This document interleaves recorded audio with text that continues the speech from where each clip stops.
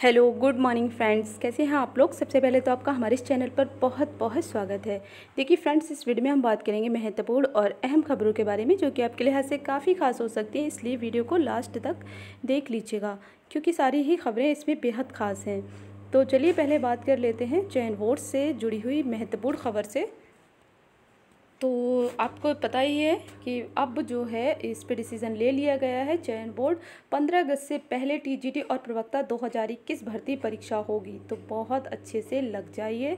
अब ये आपके लिए बहुत ही बेहतर एक कह सकते हैं बेहतर चांस है। इसको बस हाथ से ना गंवाएँ तो बेहतर ही होगा। क्योंकि इतना आप पुरानी भर्ती देख लीजिए 2016 से अब तक कंप्लीट नहीं हो पाई है, लगभग अब जाकर कंप्लीट हुई है।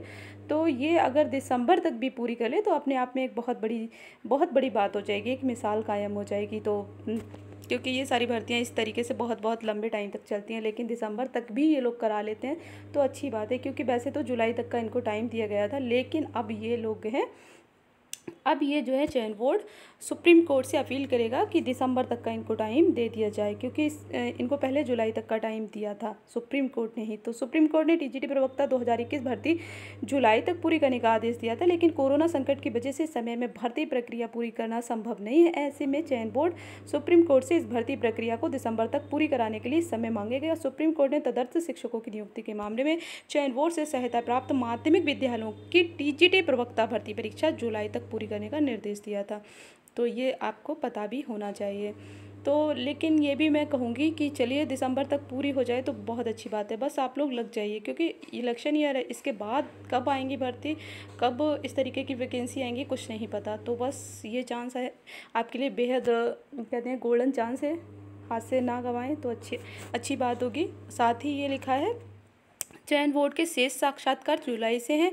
तो जो जिन लोगों के साक्षात्कार बचे हुए हैं तो वो जुलाई से हो जाएँगे और जल्दी ही वो भी भर्ती।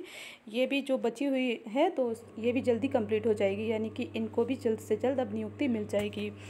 तो जुलाई में साक्षात्कार हो जाएँगे। इसमें लिखा है टीजीटी सामाजिक विज्ञान 2016 के बाकी बचे अभ्यर्थियों के साक्षात्कार जुलाई से कराए जाएँगे। बोर्ड जून में साक्षात्कार कराना चाह रहा था, परंतु किसी विशेषज्ञ के आने के तैयार न होने से जुलाई से साक्षात्कार का निर्णय लेना पड़ा।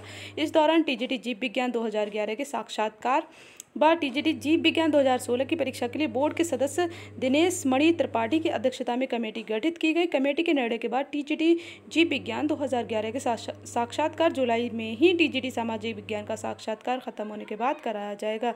तो ये सारी बातें आप देख सकते हैं। साथ ही ये भी देख लीजिए प्रधानाचार्य 2013 का साक्षात्कार अगस्त में। तो प्रधानाचार्य भर्ती 2013 का साक्षात्कार अगस्त में कराए जाने पर सहमति बनी है। तो ये देख लीजिएगा। प्रधानाचार्य 2011 प्रधानाचार्य रिज़ल्ट घोषित किए जाने को लेकर चर्चा हुई। इस दौरान ये पता चला कि इस साक्षात्कार को लेकर कोई अभ्यर्थी कोर्ट चला गया है।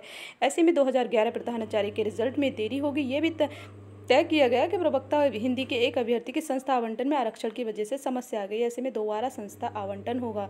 तो कहीं कोर्ट तो कहीं आरक्षण को लेकर समस्या, ये भी देरी की वजह बनते हैं। और कोर्ट का मैटर तो आप जानते हैं, मैं, कोर्ट गलत नहीं है, लेकिन ये ऑप्शन सबसे लास्ट में ही रखा जाना चाहिए। मेरा कहना ये है, जब कोई रास्ता नहीं बचता है, तभी कोर्ट में इस तरीके के मैटर ले जाना चाहिए।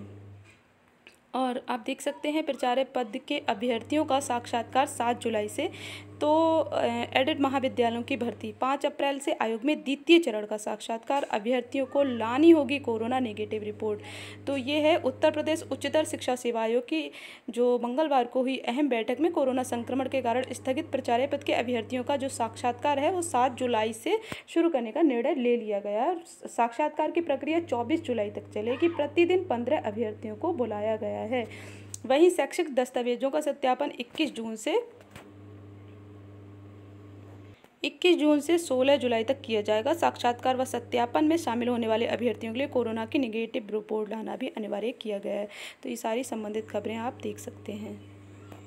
और एल ग्रेड से जुड़ी हुई ये बेहद ख़ास खबर है। ये जुड़ी हुई है आहर्ता विवाद से, क्योंकि आहर्ता विवाद के कारण अब जो है काफ़ी अभ्यर्थी लटके हुए हैं अधर में। तो कुछ लोग मांग रहे हैं जो अपात्र है। मतलब आ, मतलब एक तरीके से कह सकते हैं जो लोग चयन से वंचित हो गए वो लोग कह रहे हैं कि मतलब हमें मतलब हमें चांस मिलना चाहिए। इधर जो है जिनका सिलेक्शन हो चुका है वो लोग नियुक्ति मांग रहे हैं। लेकिन जो भी है मामले का निस्तारित जल्द से जल्द होना चाहिए क्योंकि दिक्कत तो सभी के लिए है। जिनका चयन नहीं हो सका उनके लिए भी दुख की बात है और जिनका हो गया है उनके लिए भी दुख की बात है। क्योंकि गलती आयोग की थी आयोग को इस तरीके की गलती नहीं करनी चाहिए थी, जो भी स्थिति थी, स्पष्ट पहले ही होना चाहिए थी। अब जो गलती हो चुकी है तो अब इसका मामले का निस्तार, निस्तारण भी जल्द से जल्द होना चाहिए। तो लिखा है अल्टीग्रेड हिंदी के अभ्यर्थियों ने प्रदर्शन कर मांगी नियुक्ति और लिखा है अल्टीग्रेड शिक्षक भर्ती के तहत हिंदी विषय के चयनित अभ्यर्थियों ने मंगलवार को आयोग में धरना प्रदर्शन किया और ज्ञापन सौंपा। अभ्यर्थियों का कहना है कि चयन के बावजूद आयोग ने उनकी फाइलें रोक ली हैं और इस वजह से उन्हें नियुक्ति नहीं मिल पा रही है। दरअसल विषय में आवेदन के लिए जो अहर्ता निर्धारित की गई थी, अभ्यर्थी उसे पूरा नहीं कर रहे थे। इसके बावजूद अभ्यर्थियों ने बड़ी संख्या में आवेदन कर दिए। उनका चयन भी हो गया। अभिलेख सत्यापन के दौरान ये बात सामने आई तो आयोग ने इनकी फाइलें रोक ली। ऐसी अभ्यर्थियों की संख्या सैकड़ों में है। तो इस वजह से ये फाइलें रुकी हुई हैं। हिंदी संस्कृत का मैटर आप लोगों को पता ही होगा। तो साथ ही हिंदी और एसएसटी की बात कर लें तो हिंदी एसएसटी वाले भी निराश ना हो, क्योंकि देखिए अब जो है सारी औपचारिकताएँ पूर्ण तो हैं ही, ये तो पता ही है आपको। और विकी खान सर, प्रतियोगी मोर्चा टीम से हम लगातार संपर्क कर रहे हैं बाकी प्रतियोगी मोर्चा टीम अपनी तरह से पूरी तरीके से सक्रिय है, कुछ दिक्कतें होने की वजह से यात्रा स्थगित ज़रूर हुई, लेकिन ये नहीं है कि मतलब रद्द कर दी गई, जाना ही है।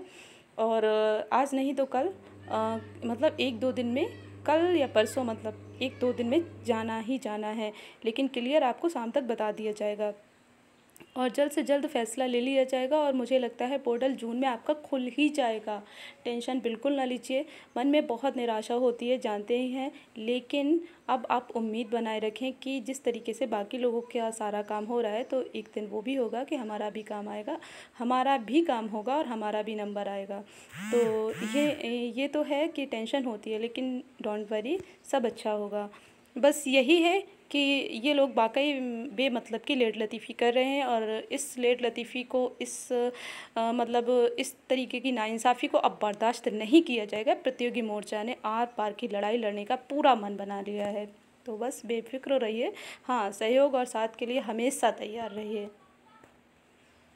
और इधर ये भी है कि चयन की तारीखें तय, वेबसाइट पर अपलोड नहीं, परेशानी। तो ये है कि 2021 भर्ती की चयन की तारीखें तय हो गई, उन पर बोर्ड ने मोहर भी लगा दी, लेकिन तारीखें सार्वजनिक नहीं की गई। इसलिए मंगलवार को देर रात तक वेबसाइट पर सिर्फ़ समायोजन सूची ही दिखी।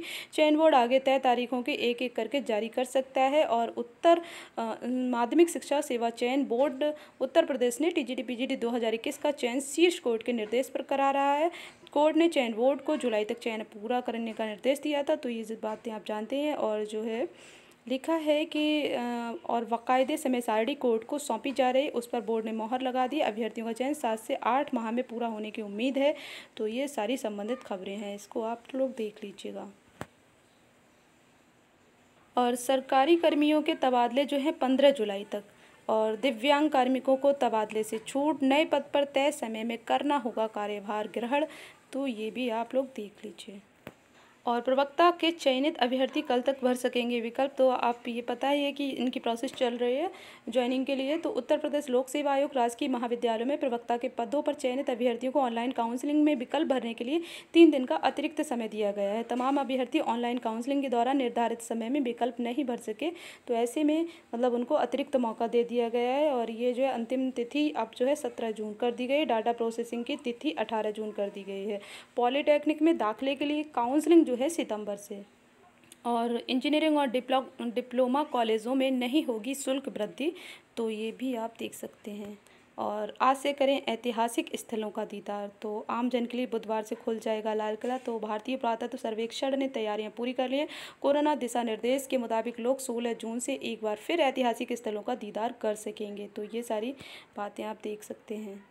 और जो है प्राथमिक स्कूल एक जुलाई से खुलेंगे, आएँगे शिक्षक। ये कार्य जुलाई में शुरू होंगे, इनको आप देख सकते हैं क्या क्या है। और वैसे शिक्षा परिषद के प्राथमिक जुलाई, प्राथमिक स्कूल एक जुलाई से खुलेंगे। छात्रों को स्कूल बुलाने की अनुमति नहीं है। केवल शिक्षक व शिक्षणेतर कर्मचारियों को आना होगा। उन्हें विद्यार्थियों के नामांकन सहित अन्य प्रशासनिक कार्य करने की अनुमति दी गई है। छात्र छात्राओं की ऑनलाइन पढ़ाई ई पाठशाला के माध्यम से जारी रहेगी। तो चलिए इस वीडियो में बस इतना ही। बाकी के अपडेट के लिए आप जोड़े रहें। Thank you bye